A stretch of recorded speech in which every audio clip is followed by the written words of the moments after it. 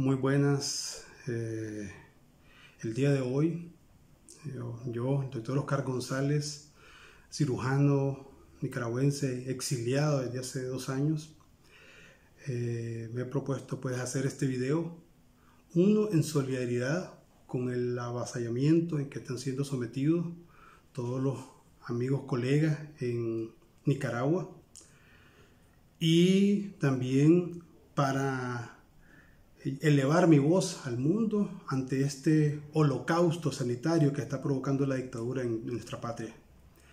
Eh, primero, antes que todo, hacerle mención de que, de que comenzó en esta dictadura, literalmente ya hay más de 100 eh, profesionales de la salud eh, que han tenido que emigrar del país, que hemos tenido que emigrar del país. ya hay más de 400 médicos fuera del sistema profesionales altamente calificados. Y además de eso, en esta emergencia pandémica, tenemos esta conducta criminal que lo último que está haciendo ahora es este avasallamiento, este, esta política del bozal eh, implementada en contra del gremio médico. Por eso elevo mi voz como presidente de la Asociación de la Unidad Médica Nicaragüense en el Exilio como médico nicaragüense, como cirujano, como patriota, como nicaragüense mismo.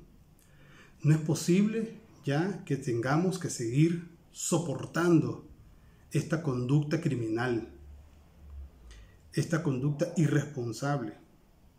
Debemos elevar nuestra voz, debemos eh, protestar y exigir respeto. El gremio médico se debe respetar. Nuestra dignidad no es objeto de negocio. Nuestra dignidad la vamos a exigir en cualquier ámbito, nacional e internacional. Ya basta, suficiente. Llevamos más de 20 colegas que han fallecido a lo largo de esta pandemia. Llevan más de 60 trabajadores de la salud.